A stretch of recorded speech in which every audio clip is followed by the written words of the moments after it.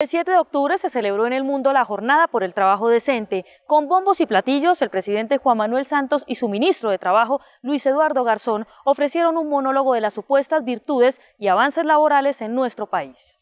Cualquier fecha que reivindique la lucha de los trabajadores debe ser bien recibida. Lo que no podemos permitir es que, a nombre de los trabajadores, el Estado pretenda vender la falsa imagen de un país donde no existe la tercerización, donde se respeta el derecho a la huelga y a la sindicalización.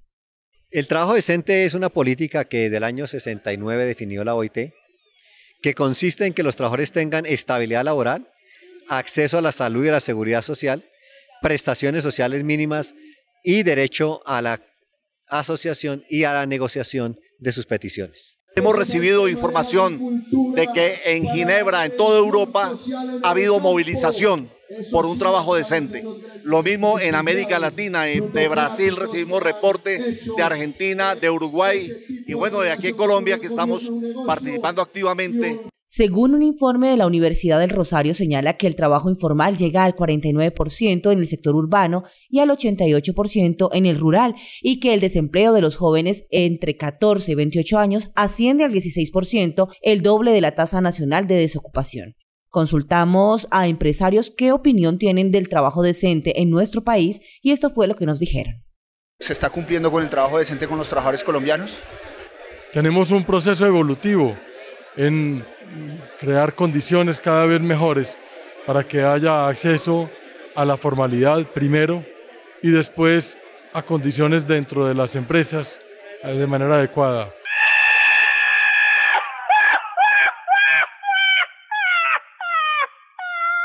Yo digo que se está motivando a que se cumpla con el trabajo de Pero falta, falta. Pues es que todos los días hay que continuar navegando, hay que seguir trabajando, hay que seguir haciendo esfuerzos.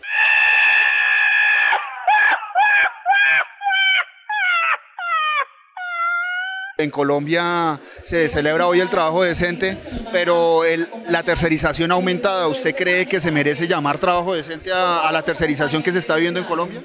Bueno, los órganos de control de la OIT han señalado que si se lleva a cabo eh, la figura de la tercerización, deben respetarse los principios y los derechos fundamentales en el trabajo. existen desafíos en materia de trabajo decente en Colombia que hay que abordar, los que ustedes los están abordando de manera tripartita.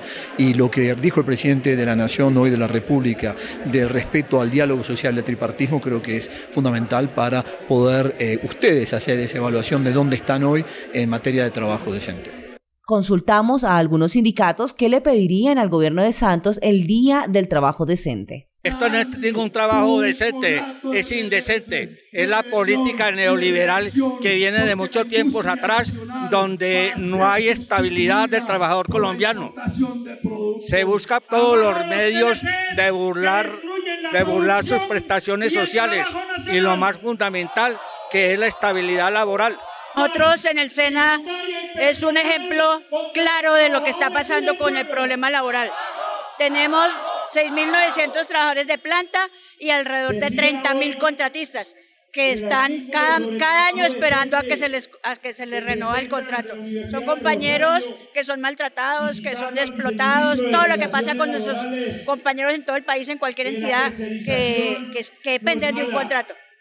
No, el trabajo decente es una farsa absoluta, ya que en el sector salud es uno de los de la población más afectada. Tenemos más del 75% en tercerización a los trabajadores y trabajadoras. Yo le pedí al gobierno acabar con la tercerización. Eso no es trabajo decente. Tenemos en Codensa 9.752 trabajadores tercerizados y en EGESA 5.728 trabajadores tercerizados en unas condiciones deplorables. Eso no es trabajo decente. Trabajo decente es el que tiene las garantías sindicales, derecho a una convención colectiva. El término trabajo decente suena hasta bonito, pero es una ironía de la vida que hace 15 años se hablaba de las conquistas extralegales de las convenciones colectivas de los trabajadores, como régimen de salud, de pensiones, y hoy en día los han reducido a hablar de trabajo decente. Es decir, que a los trabajadores les han despojado sus conquistas y los han llevado a una condición en el orden mundial y obviamente en el orden nacional de tener que reclamar que mínimamente nos, traten decentemente en el trabajo. Eso es supremamente grave y por lo mismo nosotros seguiremos luchando para que sea por la vida de la negociación colectiva y el desarrollo sindical que se eh, eh, supere esta grave crisis que le afecta al mundo del trabajo en Colombia. En el Estado laboran cerca de un millón de personas en condiciones de informalidad. Y el gobierno no cumple los acuerdos de ampliación de planta en el SENA, el Instituto Colombiano de Estar Familiar, la DIAN y Medicina Legal. El mejor homenaje que se le puede hacer al día del trabajo decente es que el gobierno cumpla los acuerdos laborales.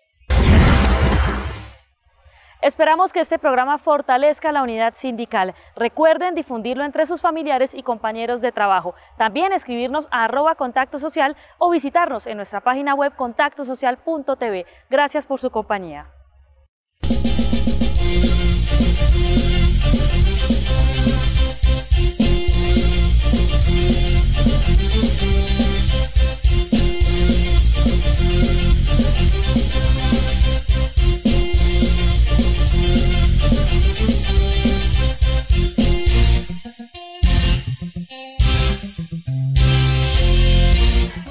Contacto Social, el informativo de los trabajadores.